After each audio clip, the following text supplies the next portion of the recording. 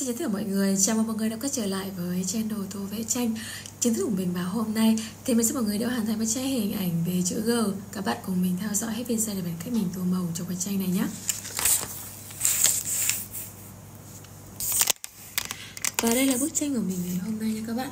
Mình sẽ sử dụng đến cái bộ bút chì màu để hoàn thành cho bức tranh của mình ngày hôm nay. Và đây là bộ bút chì màu của mình các bạn nhé. Và chữ G này của mình thì mình sẽ sử dụng đến màu đen để tô cho cái phần chi tiết. Những cái chi tiết ở trong chữ G này với màu sắc đó là màu đen các bạn nhé.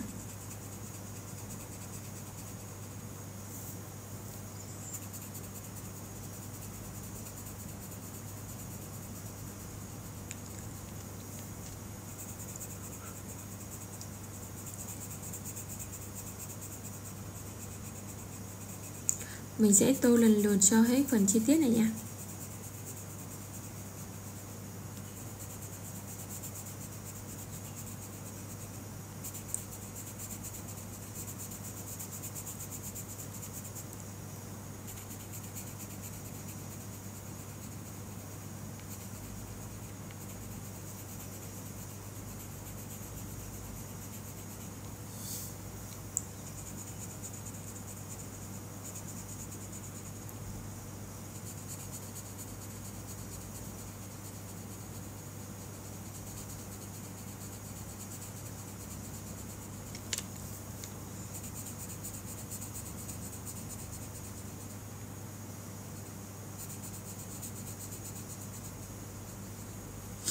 Và tiếp theo thì mình sẽ sử dụng đến ờ, một chút màu tím để tô cho phần tóc này nha.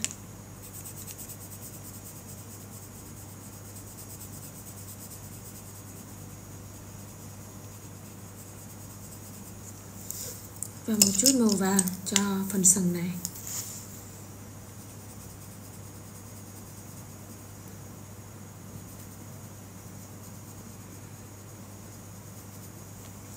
Và mình sẽ sử dụng đến ờ, màu hồng để tô cho phần tai mọi người nhé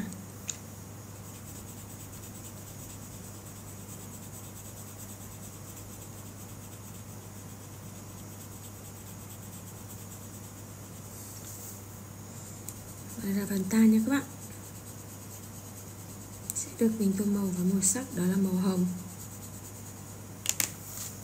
Và tiếp theo thì mình sẽ sử dụng đến màu cam để tô cho những cái chi tiết còn lại của bức tranh, hình ảnh về chữ G này nha.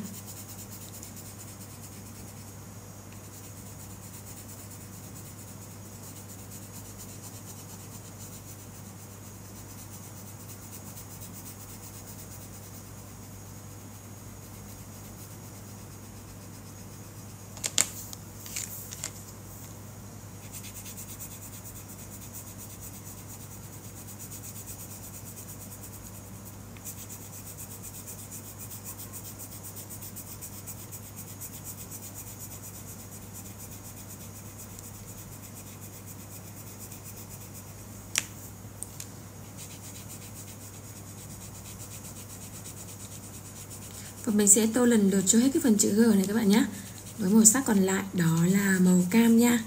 Các bạn có thể tham khảo cái mẫu kết hợp màu này của mình để hoàn thành bức tranh hình ảnh về chữ G này mọi người nhé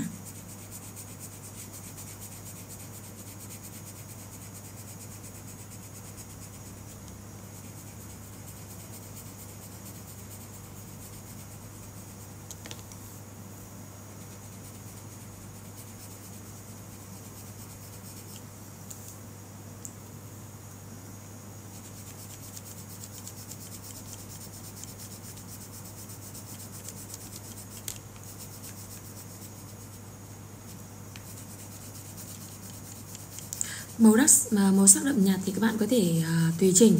Có thể là các bạn tô nhiều lớp hoặc là các, bạn uh, các bạn có thể là tô ít lớp lại để lấy được cái màu mà phù hợp với lại sở thích cùng với uh, phù hợp với lại những cái chi tiết có ở trong cái bức tranh này nha mọi người. Và bức tranh của mình ngày hôm nay thì uh, mình thực hiện uh, bởi uh, 5 phân loại màu sắc nhé các bạn có thể tham khảo cái uh, mẫu kết hợp màu nào của mình để hoàn thành những bức tranh này nhé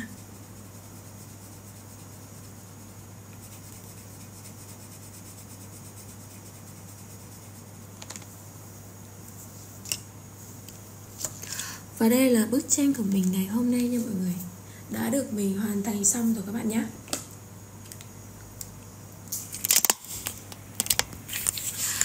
Các bạn có thể thấy ở trên tay của mình là bức tranh hình ảnh về chữ G đã được mình hoàn thành bởi à, 5 phân loại màu sắc. Các bạn có thể tham khảo cái mẫu kết hợp màu của mình để hoàn thành bức tranh này nha. Video của mình đến đây là kết thúc rồi mọi người nhé. Cảm ơn tất cả mọi người đã quan tâm và theo dõi. Mọi người nhớ like và subscribe cho mình nha. Xin chào và gặp lại.